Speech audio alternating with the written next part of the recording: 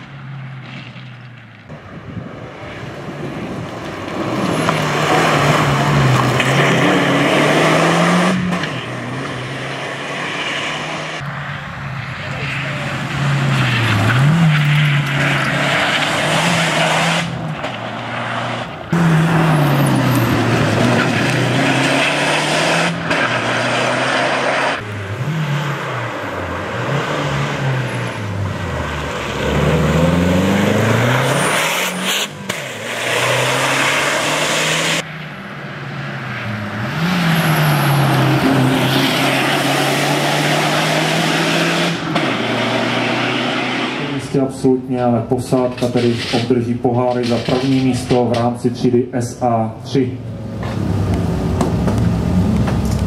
Nejrychlejší posádka třídy SA3 vůz Lancia Delta HPE, 20 absolutně, 13 v rámci soudobých vozidel, čtvrté vozidlo se smíšenou posádkou a to by tak bylo asi všechno.